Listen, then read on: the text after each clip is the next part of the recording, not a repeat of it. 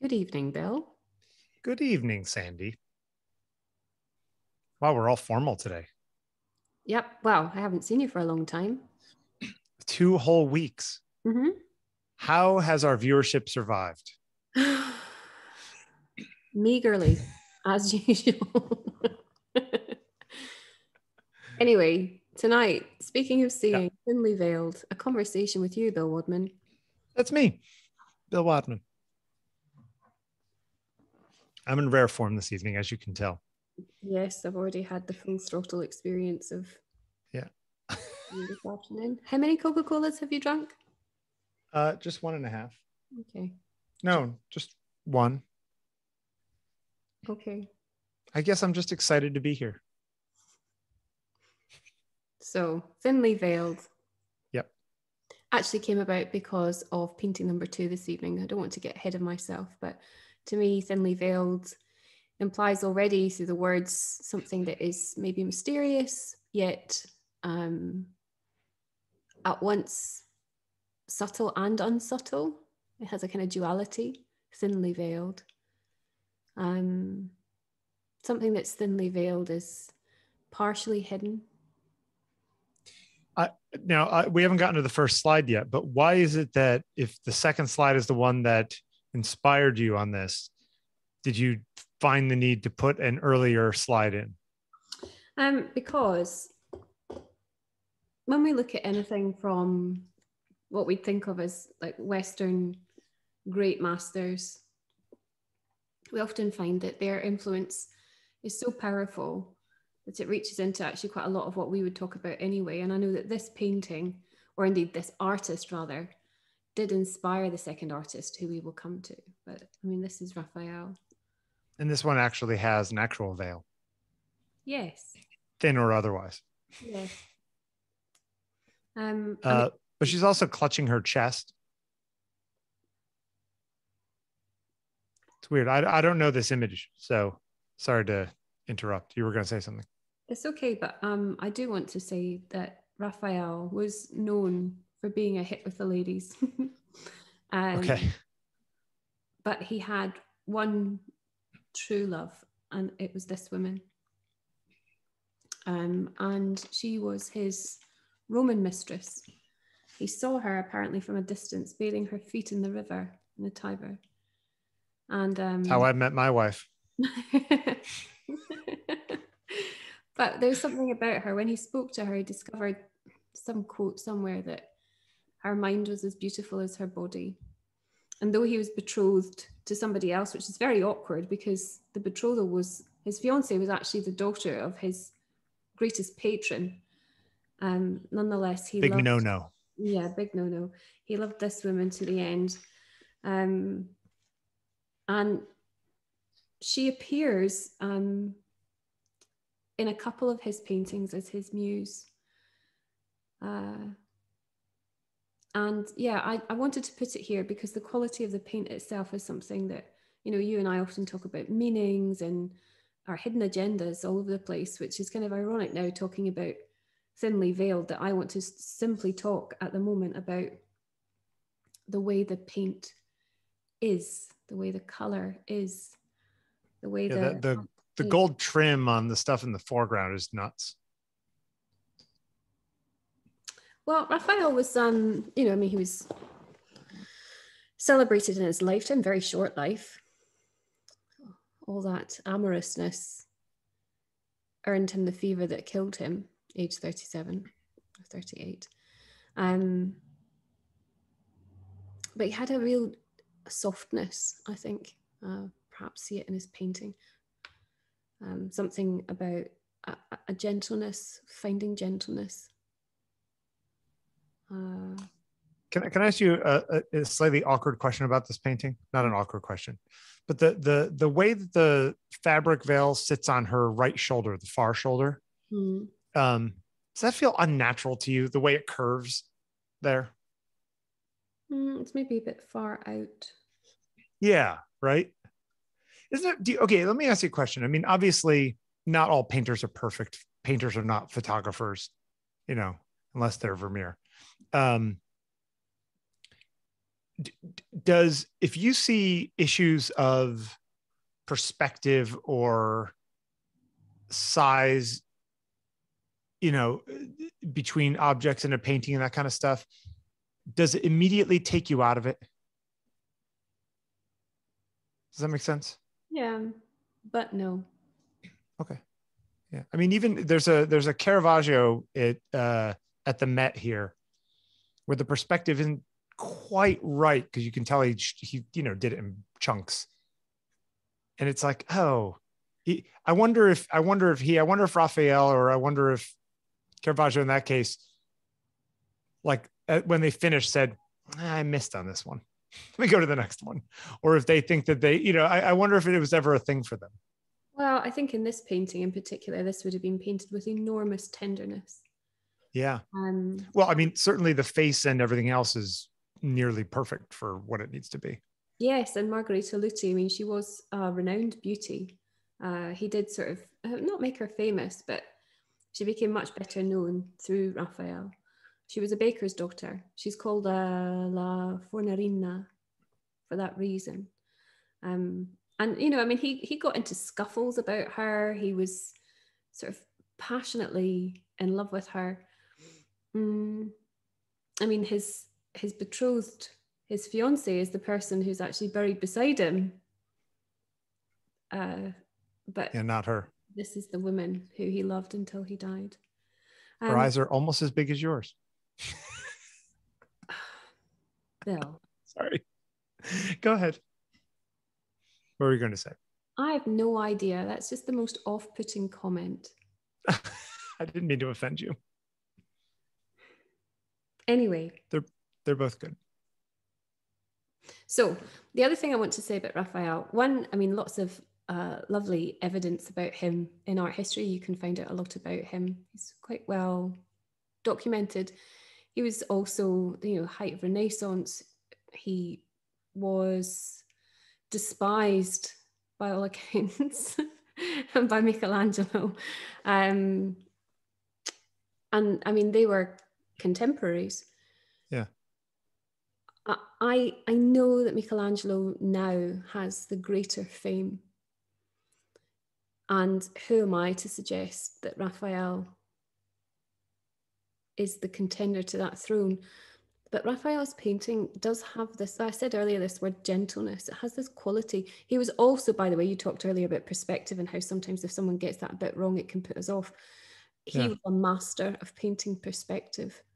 Um, yeah and also something he did with such incredible visual eloquence and we don't see it in this painting because it's of a, a single sitter is he painted uh, couples or pairs of people um, in a really very bizarre way which was very beautiful.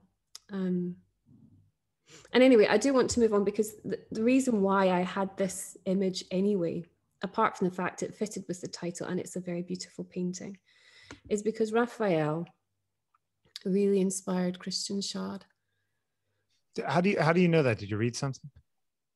Yes, so I know that in in Schad's kind of repertoire of things that would have have got under his skin, um, Raphael is there, and actually, in this painting, which I hadn't seen before until very recently, I was in London at Tate Modern, and I saw it on the wall. Um, they've reshuffled their collections, and so things that haven't been on display before were there, or things have been moved. It was an unfamiliar layout to me. So that's good because it means I pay more attention usually. Um, or most people pay more attention, I think, in, in that situation. And I stood for ages at this painting. I found something about it very bizarre, um, but immediately it made me think actually, uh, not of The Veil by Raphael, but another painting by Raphael, which is the Friends, which is a, a portrait of two men. One is him, one is his his closest male friend. And the position of the two characters in that painting are very similar to this.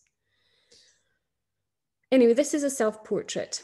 And if, if, anyone watching has ever seen photographs of Schad, it's very good likeness. Um, he was a painter that was affiliated with Dadaism, but also the New Objectivity movement in Germany in the 20s, which was really such a hotbed of extraordinary kind of collision of ideas, uh, culture, processes. Sure. Um, I, I also, th- it, you know, it's interesting. The 1920s, both of these second paintings are, are from the late 20s. Um, I think a lot of people uh, who look back don't quite remember how not avant-garde, but yeah, avant-garde. A lot of the art in the 20s was, and you could almost see how some of it led to such reactionary political stuff against mm-hmm. art for that reason. You know, the art was. I mean, I, I I think it's fine, but like that, you could imagine somebody saying this art is getting too crazy and too risque and too odd, and we need to we need to you know rein it in a little bit. Um, and this is just an interesting experience, you know. I mean, you'd not an seen interesting example, rather. Say again. You'd not seen this painting before either, had you? I had not, and it's it's it's it's interesting to me, both because the person sitting behind him, obviously, a woman with breasts, but like I feel like her face is also kind of weirdly androgynous in some ways. But it's very much of its time. Yep. Yeah, with the haircut and the whole thing. Yeah, I mean, there's an amazing photograph by August Sander actually, and it's something like a telephone operator. Yep, I know the photo. Uh, you know the photograph. I mean, yeah. I, it's very, very similar in so many ways, but it's of its era, isn't it? The thing that I, you know, this painting is full of um, symbolism. I find it quite bizarre sometimes that simply because of the the technical way of painting uh, that Schad does fit with kind of new objectivity because actually he's a symbolist. He really is a symbolist. You know he's he is giving scrutiny to the detail of the physical. He is paying homage to things that are actual but in another way he's giving uh, a voice an image to something that is beneath the surface and that really pertains to the to the title, Thinly Veiled. I mean, this painting is loaded with so much. And actually, though this is in many ways a much more obvious painting, you know, the thinly veiled aspect of this is that this woman painted so beautifully and yet so brazenly, let's face it. Yeah. This is a document, a testament to the love of this woman by a man who is betrothed to someone else. And so I do wonder if my title really, the subtext of the title is about forbidden love. Huh. Okay. I hadn't thought of the forbidden love thing, but I guess no, you're right in this case. I hadn't thought about that connection. I also think it's interesting. You, I mean, in the original painting, is the backdrop look like it has wrinkles in it, like it does in this yes. photo of it? So there are different veils that we might think about in this.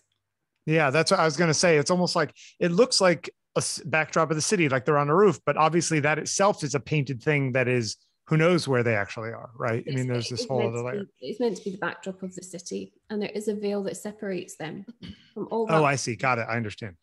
Um, and actually, you'll notice probably in terms of the density of the the image, I did uh, turn the brightness up just a little bit on this so we could see it actually, because it's very okay. important that we notice it, I think. So Schad would have painted that quite deliberately, obviously, but it yep. has so much meaning. Um, you know, we've got the, the narcissus, it sort of leans in towards him. That is a, a symbol, well-known symbol of vanity. Um, I mean, Schad came from quite a sort of privileged background. His father supported him pretty much half his adult life at least until actually a couple of years after this 1929 wall street crash meant that his dad could no longer bankroll him all the time uh, so I mean, he he led quite a pampered life perhaps um, and there are lots of other things about him that make him if not unsavory then maybe quite contentious uh, he was left leaning in his own sort of polit- politics, but he was also endorsed and accepted uh, by the Nazi Party later. And he featured in their exhibition of great German art. Interesting. Yeah. So uh, I mean, Did his style change? no, I mean his contemporaries were featured in degenerate art. Yeah, that's what I was going to say. That's that's odd. Yeah. Hmm. And I find it odd as well. And there are many things that are quite bizarre about Schad Um, I think the painting is most bizarre. It's extraordinarily unsettling. The scar on the woman's face. Yeah. Um, I can't remember how to say it. It's a it's a it's a Neapolitan criminal scar that they would inflict as a punishment on their enemies. It's a very particular kind of scar. So that had meaning at the time that it might not more meaning at the time than it does now. Yes. Um, you have the black ribbon tied at her wrist. Yep. And you have this thin veil cloaking it, revealing his nakedness. Yep. Tied at his front. Now, when one looks at this painting up close, as I could and did for a very long time at Tate Modern, there's also even a sense that at his chest, where the join of this gossamer garment kind of comes together, there's an element almost of it being kind of vaginal or an opening into something else that's about, yeah, it, it- it's almost like a portal space or something that yields. It's a very unsettling thing to look at it. It's also I, I always look at paintings like this and I think, would it work without the flower? Hmm, it'd be a different painting without the flower. I was I was like whenever there's like an odd compositional element to something, Mm. I always try removing it just to see what it would be like. What do you think of this? Yeah, it's Bill? I mean, would you would you spend time with this painting? no.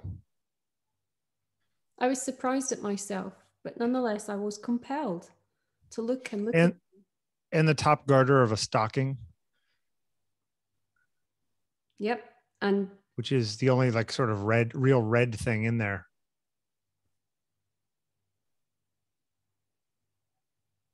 I want Yeah, to, it's it's it's an odd painting. but thinly veiled speaks to me again a disguise of a disguise. You know, something It almost hidden away. go ahead. No, just the secret nature. I felt like if I stayed with it for long enough, it would reveal itself to me eventually. And it didn't. I still found It- it, most impenetrable. it almost feels to me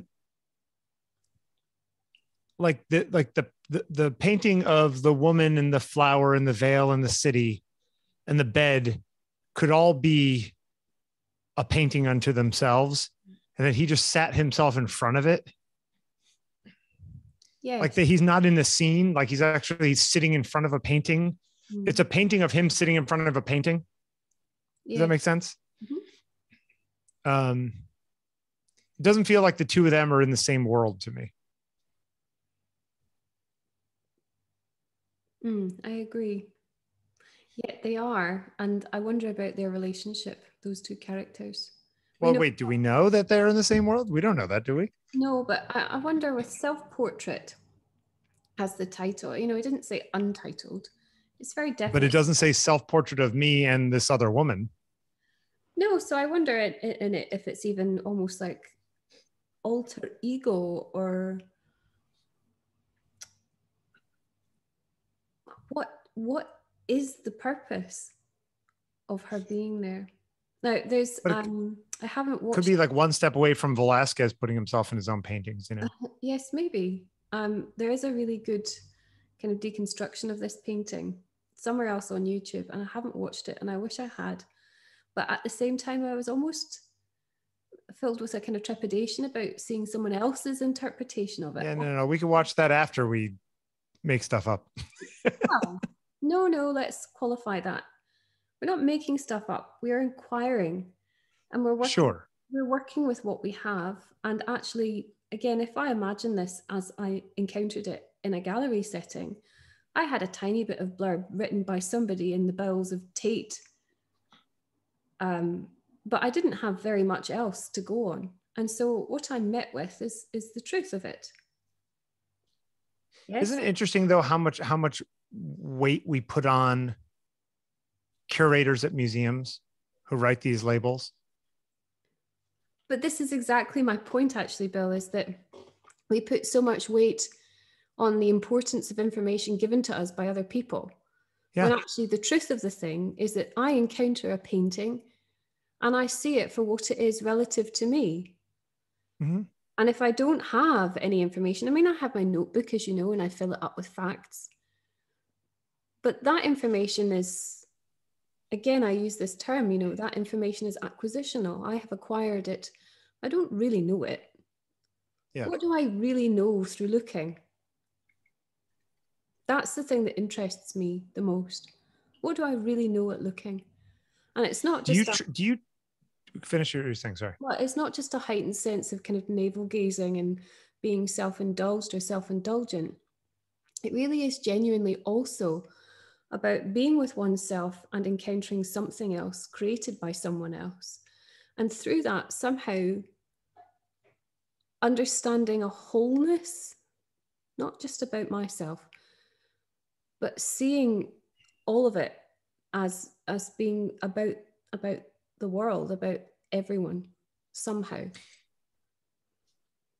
But do you do you ever come to a conclusion about a work of art and then you later find out other facts that change or discount what it is that you were thinking?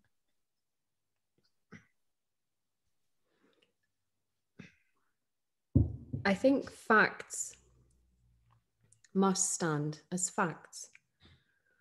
And if a fact changes perception, then that's just the matter of course. Yeah. But I think what we're talking about, which is really kind of analysis and even better inquiry, even if a fact came along that discredited that the scar on her face wasn't in fact the kind of scar that Neapolitan criminals gave each other as punishment. If a fact came along and said, well, actually, no, it was a different kind of scar, it's not even meant to be a scar at all, or something. Nonetheless, I've engaged with it at that level. And so it's breathed life into it. And perhaps I expect that an artist would rather I breathe life or have life from looking than simply navigate it through dead things, the dead thing of information. The dead thing of information. Wow, heavy thought. Yeah, it's interesting. I, I mean, I would tend to want to collect as many facts as I could and then fill in the spaces with educated guesses of my own design. Bill, you and I, most weeks, gather here and we have a loose collection of facts. Mm-hmm. And very often, unless you're frantically Googling on your phone as we're talking, I never Google on my phone. You're taking what I'm saying yes as a fact. Now, I could be feeding you a load of old baloney, couldn't I? Yeah, but absolutely. Nonetheless, it still creates the kind of fertile soil for something dialogue.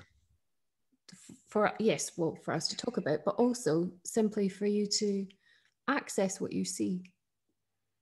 And even if i didn't tell you anything there was no anecdote about standing in tate modern looking. There were no facts about christian schad and the nazis. There were no dates even. We would still look at this and be able to talk about it. Sure When did do you know when he died?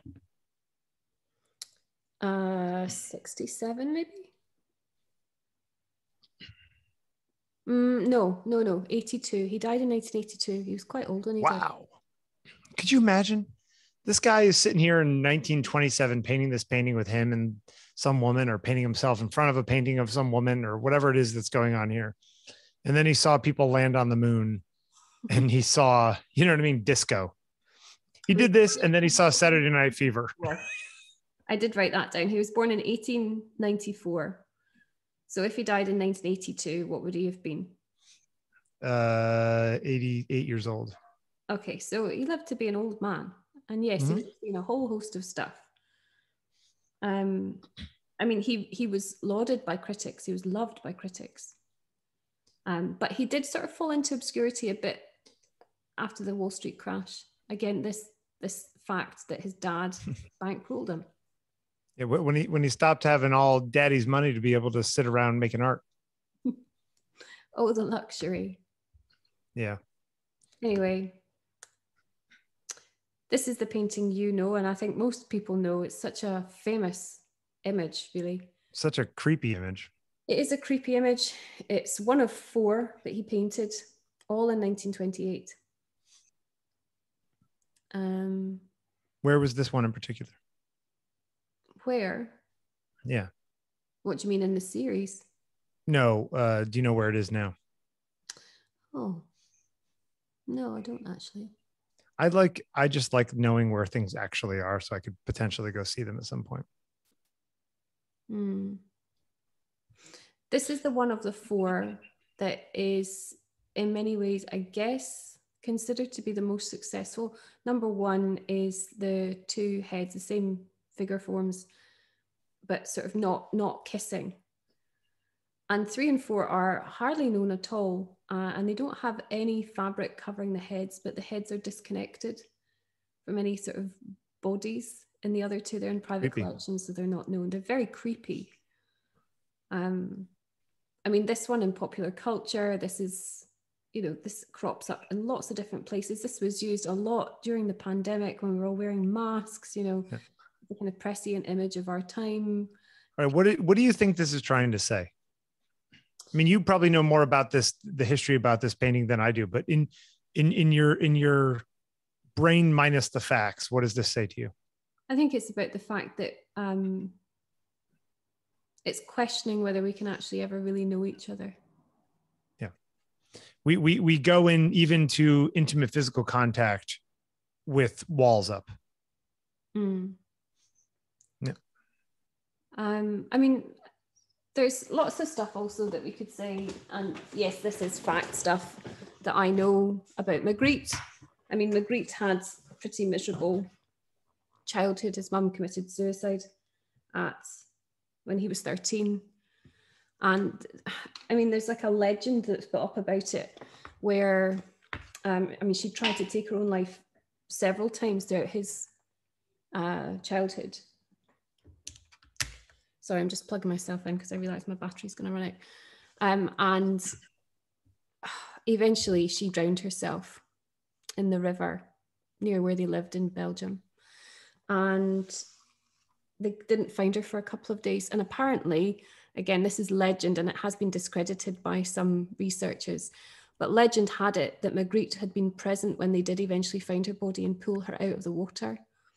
And that when they did pull her out, her skirts had come up and had come around her face and she was shrouded and that image had stayed with him and so lots of people think that this is a motif comes up you know kind of in a psychoanalytical way we could say that it's because there's an acceptance and a denial of truth you said that this has been discredited later well uh, you know where do these stories come from sometimes that seems like that seems like a very useful story. Useful, yes. Uh, but I, I, don't I don't know if it's true, but it is it yeah. was sort of well documented. People would would say that actually about his. Isn't it interesting though that looking at the last image, this one is so the the frame uh, with the red and the blue and the white, um, just fields there looking like a pillar and a ceiling and a sky outside or whatever you want to make it think it is um, is so much more disembodied than uh, it's so much more minimal and sort of separated from reality. It's in a dream world even more so than the last. Well, this I feels mean, like this feels like a weird dissociative dream to me. Yeah i mean magritte's painting is dreamlike. Yeah. You know, as a surrealist, Uh, I mean, let's call him what he what he is in context of art history terms. He's a surrealist. We look at somebody who's a, a very uh, fine representational painter, but the representations are of things that don't belong with each other. Yep. And that disconnect is the thing that obviously gives rise to the surrealism, but also this beautiful dreamlike quality. I'm saying beautiful, yet also disconcerting, discombobulating. Um, I think there are lots of things about Magritte. You know, he struggled actually as a as a young artist. His first what he would think of as like surrealist painting in his first exhibition, you know, critics laughed him off the wall. They hated it. They thought it was just insane and rubbish. They had a sort of advertising background, um, and he returned to that periodically. And in the inter uh, post-war years after the Second World War, he actually made his money making fakes of um, Braque and De Chirico. Oh. Um, and then with his brother, all that fakery stood them in good stead to paint fake money. Ah. They became, uh, that's terrible. Until then, they kind of came into a slightly more um, stable financial period. And he went back to painting his, his kind of surrealist work. You know you think about these these artists and, and we come at them and we might see them just through one painting. And there are all these the, the life behind the painting is is so interesting yeah. And and we also assume that their careers were very linear when a lot of times they were all over the place whether whether they had the money whether wars were happening whether you know people thought that their work was good whether it showed up in the way whether the art world shifted to a whole new way of thinking and they were left behind or they were ahead of the times or they fell in love or they were depressed or the, you know what i mean? Like whatever or they were young or they were old when they made it. It's like all of those details really change the way you look at a piece of art a lot of times mm. uh, at least they do for me um but yeah you could you could pull out four or five magritte paintings and say okay here's a set of magritte and that's why he's a big deal but there's so much more to it. Yeah, I mean his um the things that he loved again that might shed some light on this. Apparently he was obsessed with Fantomas, which was a fictional character who appeared in kind of pulpy comic style publication novels and yeah. um, in sort of films that had been made he, he loved that character and that character was like always in the shadows and wore like a mask of loose fabric around his face so you know the story of the mother being pulled from the from the river is of course poignant and if that's true yes we could say that's profoundly impactful but there could also be something quite as simple as could also just be a cartoon that he liked he, he loved this character from yeah. this kind of quite bizarre um, series of, of novels and, and little films. Yeah. Um, I think with with Magritte though, uh, I mean, I'm going to read it. He believed it does not mean anything because mystery means nothing. Um, it's unknowable. So that's paraphrasing him a little bit, but he did want us to ask. Wait, doesn't mean anything because mystery means nothing. Well, he wanted us to ask, what does it mean? That's what he's encouraging. He's asking us to ask but then in asking, I don't know if it's playful or just a bit perverse, that he wants then to say, well, even the mystery of it is meaningless. It means nothing. It yeah, like to, to, go along a, a, bit with him, and then you get a slap in the face from him. Right, and that, that to me, if if you really believe that, then why the hell did you paint it in the first place? You know what I mean? That's like that. That's where I go obviously you don't actually believe that and you're just saying that to sound cool you disagree know i just i do like a person with a bit of edge bill okay okay um, anyway, I think back to this idea of, of the title, thinly veiled. This Uh, one is far more veiled than the first two. Well, Although at least we know the action that they're doing, we just don't see their faces. Where the other ones are less veiled physically, but more veiled intentionally. do all of them share intimacy? The first one only because I know the story behind it. Okay. In looking though, I mean, this is like trying to adjust our perception when we look at any portrait and we say, well, has the artist, what is the artist's relationship really to this model, this sitter? You know, in looking at this painting, could I deduce that this woman was loved? And I mean, because I'm an absolute hopeless romantic, of course, when I see this woman, I believe that she's been loved by the painter. I think that's only because you know. I don't know. I mean, Flaubert. what did he write about her? Gustave Flaubert wrote about her, and he said Okay. something like, "She's a beautiful woman, and that's all you need to know." You know, so in kind of like the annals of history and the references to her throughout history, you know, it's it's just so well understood. Um, and maybe it's diminishing for her, belittling in her in some way, just to say, well, because she's so beautiful, of course, beautiful, of course she is loved. But you know, we know that's not the case, don't we? Not everything or everybody who is beautiful is profoundly loved. But I maybe do feel that there's, as I said earlier, tenderness.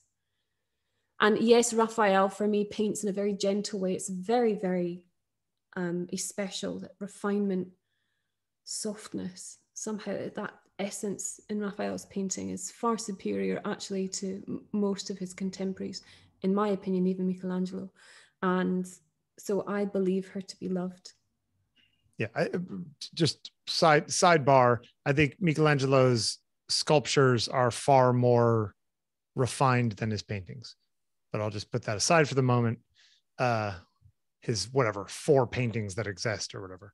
Um, but I will say that if you and I went to the National Gallery, if I flew over there, you and I meet up in London, we go to the National Gallery and we look at a bunch of paintings of, of people, and I say, All right, without looking at anything, without knowing anything, is this person in love with the person who's painting them? Is there some relationship going on?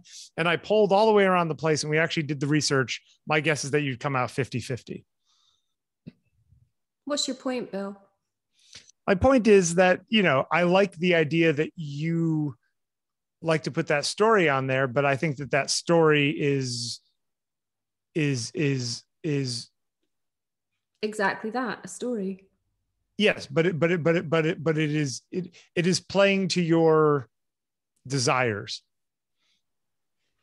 in the sense that like you you want there to be a story behind the painting whether or not there is Well, know, then- I could also see this as this was the young wife of some woman that he, you know, some guy he had to, you know, got paid, he got hired to go paint this woman, this guy's wife. And this is the painting that resulted. And he actually didn't like her at all because he was gay or whatever it is. Like I could totally buy that story just as much based entirely on looking at the painting. You might be right. I, but maybe I'm just insensitive to these kinds of things. I think what you're saying though is like a, a a prompt point, like a springboard for us to talk not today but another time really a- about what any art is. Yeah. You, you in that uh, that I put my story there. You know what? What actually does the artist want? Does the artist seek to make something that lies like an empty vessel? Or does the artist want to make something that stands there as a statement? And then the statement is given. You know, a statement in painting can be very oblique. Sure. I mean, that, that could be true in any, I mean, listen, you know, you can take a Gregory Crewdson photograph and you see the person in a Gregory Crewdson photograph and you think, what is that person thinking? And in reality, on the set, he all he says to the people is, give me less, show me less, say less. And it's like, well, then what is it that you're trying to capture? You're trying to capture nothing so that there really is just a hole for the viewer to put themselves into, which I guess is a, I guess it's valid. I would almost rather someone have the subject of a portrait in this case actually try to say something but that also might be my own bias based upon what i try to do with my own work. I can't imagine that it's different when you are a painter because you have so much more time. You know you have so much more control